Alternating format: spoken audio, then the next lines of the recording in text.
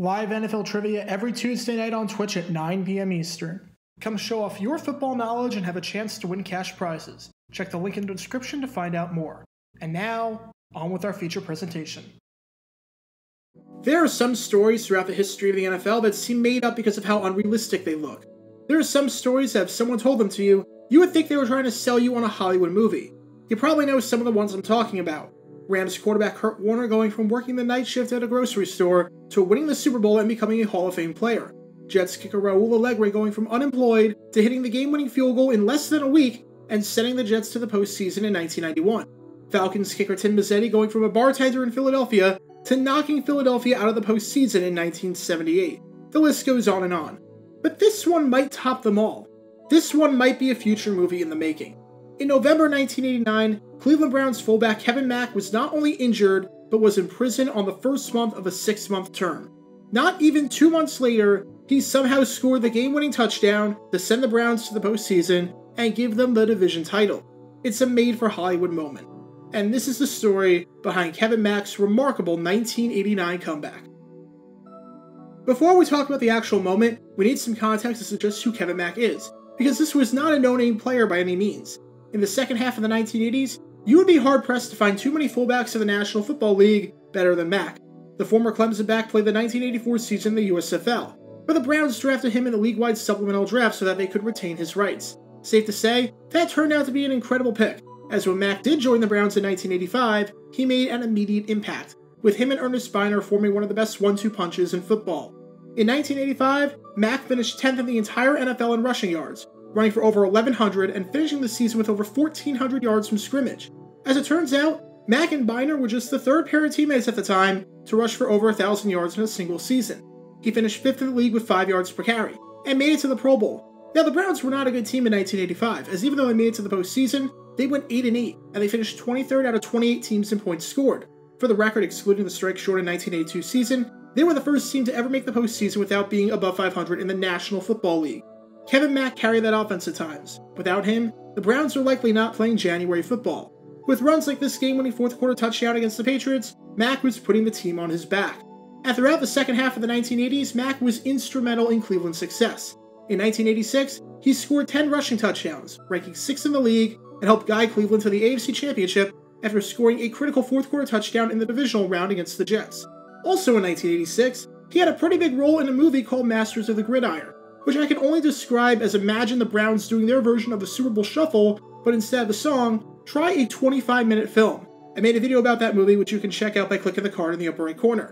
In 1987, he made it to the second Pro Bowl of his career after almost crossing the 1,000 yard from scrimmage mark, as he once again guided the Browns to an appearance in the AFC Championship. The 1988 season was the worst of his career, as his production suffered due to a lingering calf injury in the second half of the season and missed time at the start of the year with a stomach ache. However, it was clear that a healthy Mack was not only a force to be reckoned with, but an instrumental part to Cleveland's offense and success.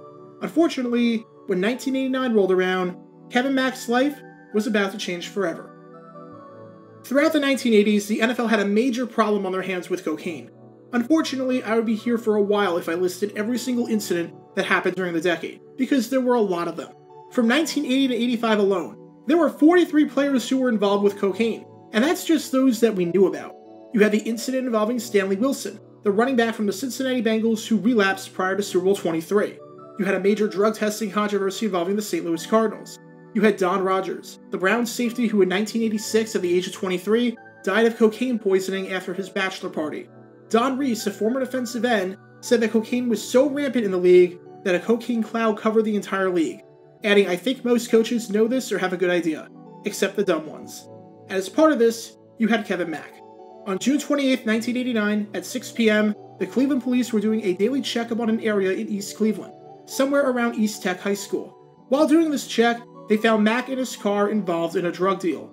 When the police approached Mack, they found 12 bags. 11 of those bags contained para cocaine, while the other bag contained crack cocaine. Unsurprisingly, Mack, who was the driver of the car carrying two other people, was arrested at the scene. The next day, he was charged with drug trafficking and was released on a $2,500 bond. Mack entered a rehabilitation program over the summer. From there, it was all downhill. On July 10th, he was indicted by a grand jury on four charges possession of cocaine, sale or resale of cocaine, aggravated drug trafficking, and possession of criminal tools. Mack pleaded guilty at the end of August to cocaine use as part of a plea bargain deal, with the other three charges getting dropped. One day later, the NFL suspended Mack for 30 days, meaning that he would miss the first three games of the regular season. After serving the suspension, he rejoined the team, and the Browns were trying to get him ready for their Week 4 contest against the Denver Broncos. He was set to make his debut in this critical game against the team that had knocked them out of two of the last three AFC championships. However, he got injured and needed arthroscopic surgery on his knee. The comeback was going to be put on hold. And it was put on hold even further one week later, when Judge Richard J. McMonagle sentenced him to prison, getting six months in the Mansfield Reformatory just outside of Cleveland. After he took the plea bargain, nobody saw his arrest coming. To put it into perspective, the Browns cut a player to make room for Mack on the roster, assuming that he would not be in jail. The player was immediately re signed after the news on Mack's sentence occurred. Everyone was shocked. His wife Ava was crying. One of his attorneys, Gerald Gold, audibly gasped, said he couldn't hear anything else because he was that shocked, and that he was too angry to come to grips with the whole thing. Another attorney, John Pyle, said that Mack was understandably disappointed by the news, saying that Mack did everything he's had to do with rehabilitation, that the judge was taking his livelihood out from under him. It was the middle of football season, and Mack was now in prison while nursing an injured knee. It seemed like this was going to be all that we would see of Kevin Mack in 1989, right? Not so fast. Before I go any further, I should note that this was not the first time that Mack had been treated for cocaine issues. When Mack's attorneys appealed, information came out that since joining the Browns in 1985, he had been involved in the team's inner circle treatment program twice before. Still, everyone involved was expecting nothing more than probation. Now, not only was Mack in prison, but his recovery from the knee surgery was completely out of the hands of the team doctors. Attorney Gold even said that this ruling was going to threaten his career and his health.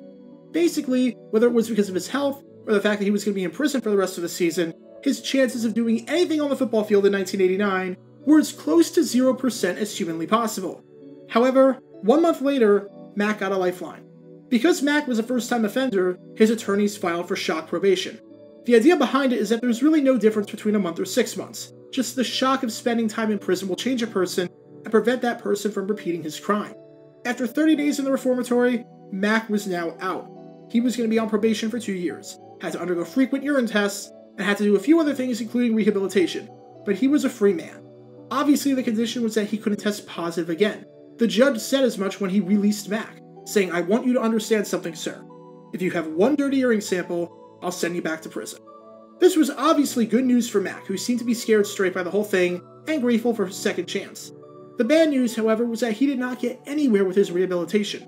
The knee was in awful condition, Whereas he would have been rehabbing in the Browns facility every day as a free man and working with team doctors specialized in treating football players, in prison, he was spending his time at the Frazier Health Center of the Orient Correctional Institution. He couldn't run around. He couldn't stay in football shape. He lost a significant amount of weight. Apparently, the health center was so bad that there were rats running around. There were insects all over the place, and the lights were routinely off. Mack was nowhere close to being ready to play and estimations were that any possible return for the 1989 season would be slim at best. Having said that, he did come back. Against seemingly all odds, he was able to return to action. He got one carry against the Bengals in Week 13, and six carries against the Colts in Week 14, and then a regular workload of 18 carries against the Vikings in Week 15. Still, you could tell that something was off. He was still not in great football shape, averaging just 2.7 yards per carry over those first three games. However, when Week 16 rolled around, in front of a national television audience, Kevin Mack was about to have arguably the greatest and most improbable moment of his storied career. December 23, 1989. It's a nationally televised special edition of Sunday Night Football on Saturday night, and it features the 8 6 1 Cleveland Browns and the 9 6 Houston Oilers. The importance of this game cannot be overstated. The winner of this game officially clinches the AFC Central crown and gets a bye into the divisional round. If the Browns lose, they could be in danger of missing the postseason entirely, depending on how the results on Sunday and Monday go. There was everything to play for, and while it wasn't a true winner go home game for the final week of the regular season, it was just about the closest thing to it. Early on, things are going great for the Browns. On the first drive of the game, Matt Bahr drills a 32 yard field goal to give Cleveland an early 3 0 lead. After Warren Moon gets picked off on the Oilers' first drive, Cleveland gets the ball back, and three plays later, Bernie Kosar dumps it off to Eric Metcalf, and Metcalf does the rest. This is one of the best individual efforts by any player on a touchdown during that 1989 season, and it gives the Browns an early 10 0 lead. In the second quarter, Kosar hits Webster Slaughter for a 40 yard touchdown that gives the Browns a 17 0 lead. the division title is going to be theirs, and they held on to what seemed like a comfortable 17 3 lead at the halftime break. But in the second half, a switch flipped. On the opening drive of the second half, Warren Moon hits Drew Hill for a 9 yard touchdown. Just like that, it's now a 17 10 game, and Houston is right back in it. Cleveland's offense completely stalls in the third quarter. And after Tony Zendejas hits a 37 yard field goal to make it 17 13 early in the fourth, Houston strikes again. With five minutes left, Moon and Hill connect again.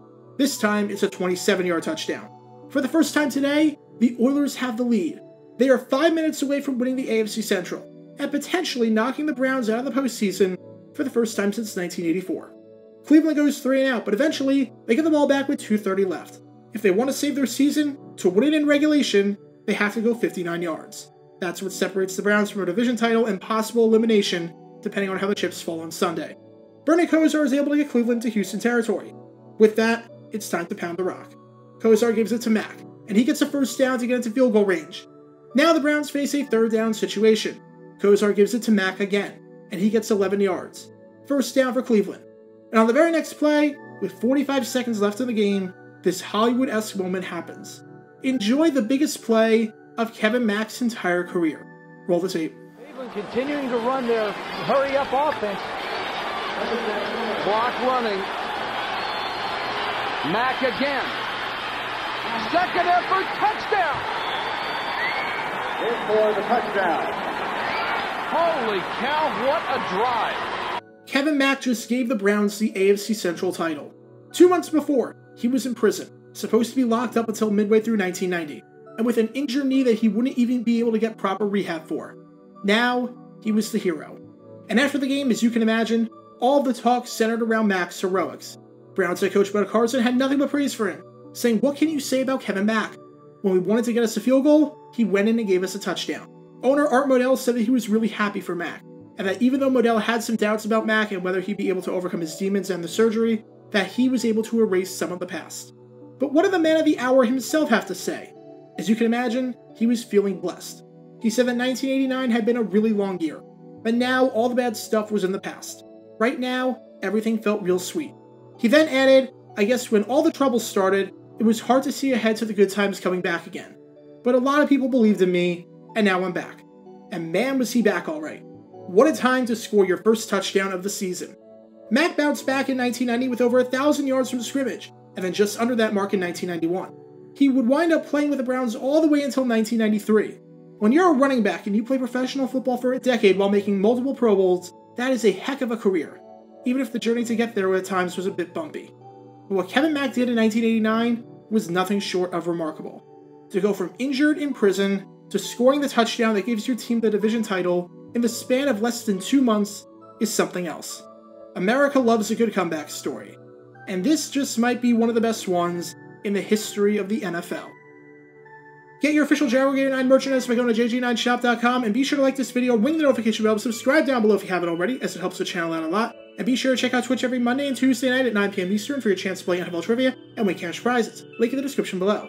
If you want to see videos like this condensed down to 60 seconds, then follow me on TikTok at JaguarGator9 and subscribe to 60 Second NFL History on YouTube. To see highlight videos of players throughout the history of the NFL, subscribe to JG9 Highlights. Also, special thanks to all of our Patreon supporters for helping out the channel. Your support is greatly appreciated. See how you can become a patron and request future video topics in the description below.